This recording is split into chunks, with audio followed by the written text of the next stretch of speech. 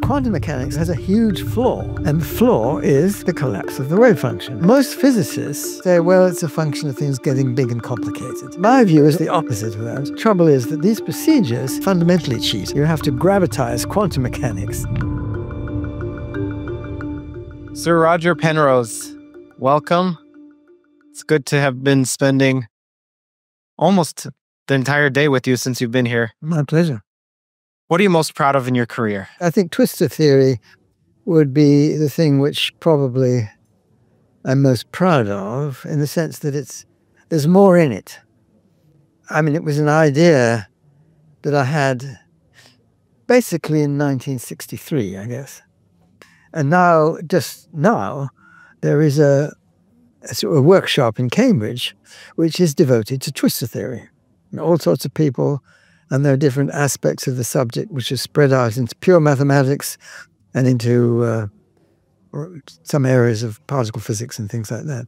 So it's it's it's spread out, not necessarily the form of the theory which I initiated, but nevertheless the same sort of idea.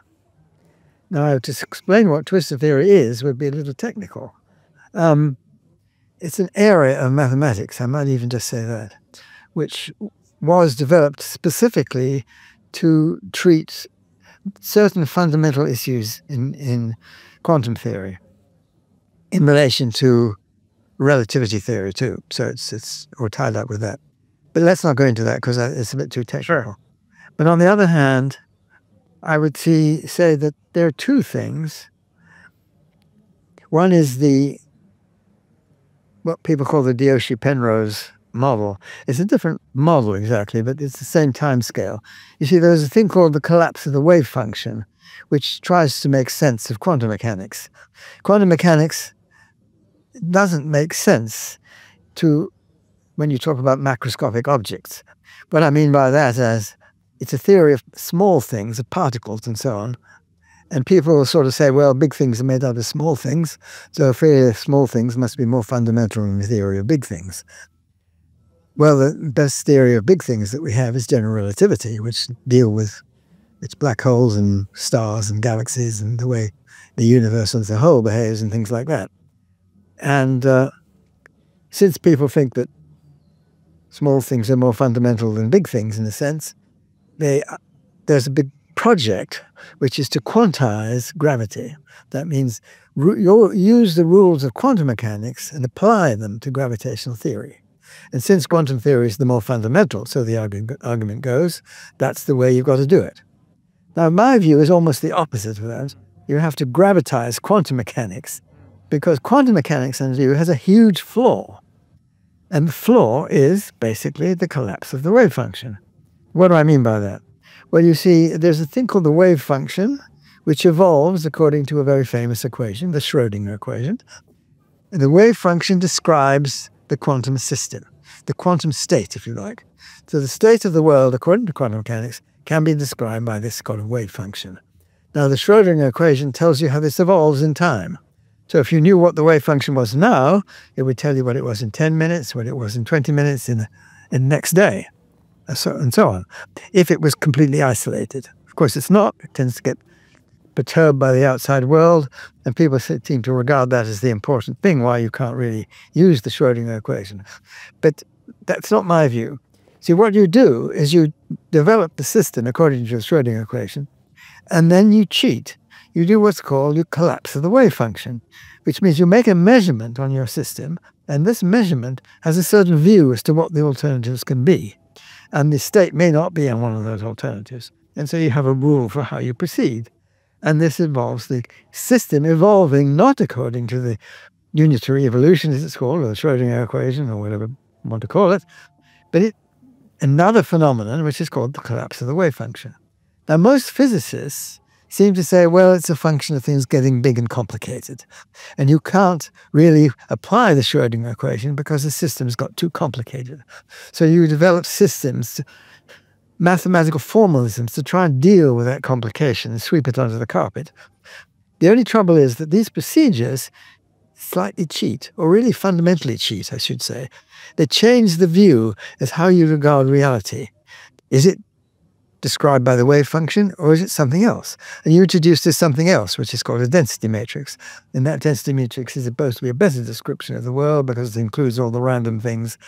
And then you go back and say it describes a probability mixture of different, different states, different quantum states. In there is a little glitch of logic, which people like to sweep under the carpet. And what you have actually collapsed the wave function without saying it out loud and the collapse of the wave function does not follow the Schrodinger equation. And I think most people in physics, certainly when in the old days of physicists, I'm not sure what they think now, um, would think that the collapse of the wave function is not a real phenomenon. It's something to do either with the environment getting mixed up with it, or more plausibly, some people would argue, by a conscious being coming and looking at the system or doing an experiment on the system measuring the system. In fact, the word measurement is used in quantum mechanics. You measure the system, and that involves secretly the collapse of the wave function, but you shovel that under the carpet. Mm-hmm. So never the, none of these arguments really do explain why quantum mechanics works. And when I say gravitizing quantum mechanics, the solution to this problem, in my view, has to involve gravity because the collapse of the wave function, in my view, is a real physical process. It's nothing to do with a conscious observer looking at the system or anything like that. It's a real physical process which takes place when the system gets too big in the sense of gravitation. And I can describe it as being, well, the sort of stage when sort of people argue that things get, go classical beyond quantum is, is the Planck mass. And the Planck mass is the mass of a flea's eye, roughly speaking. So it's pretty small, but not ridiculously small. In fact, it's not really very small because if you had a, something of the mass of a flea's eye and you moved it into a superposition here and here at the same time, you can do that with protons and electrons and things. It can be here and here at the same time, and that's a perfectly good quantum state. Why don't you see a, a stone? Why don't you see a a, a, pebble in here and here at the same time. Well, people say, well, it's all to do with measurements and all that stuff. Well, I would say, no, there is a phenomenon, which is the collapse of the wave function, which actually happens at a certain level. And you can work out how fast it happens using this formula. And this formula was independently and earlier than me done by Lajos Diósi. And he had a different argument. I don't even remember his argument. He was, he was about two years earlier than that. I didn't know about his argument I produced my argument later on as rather uh, surprised to find that he's already done it. He hadn't done it in the sense of the argument that I presented. I don't think his argument was necessarily a gravitational field argument. So, what was the same about it? It's the same lifetime. You see, it says that the decay time, you put a, um, a grain of sand into a superposition of here and here, how long will it take before it becomes one or the other? And the formula that he came up with is basically the same as the formula I came up with. And I'm arguing this from this tension between the gravitational theory, Einstein's gravitational theory, which it has to be Einstein's theory, and uh, the superposition principle. See, Einstein's theory was based fundamentally, which really a principle goes back to Galileo. Galileo stated it very clearly that if you fall freely in a gravitational field, you the gravitational field disappears in effect locally. And I almost like the ex example he gave of fireworks. The fireworks go up, bang, and then the uh-huh. sphere of sparks. The sparks accelerates downwards as it falls, but it remains a sphere. So it remains the same shape as though there were no gravity. And he talked about, talked about big rocks and little rocks falling. And he knew that if you drop a feather, it won't fall so fast because of air resistance. He really knew all these things. He was extremely insightful on these issues. But the main point he was making was the principle of equivalence. That is to say, if you fall freely in a gravitational field, you've got rid of it.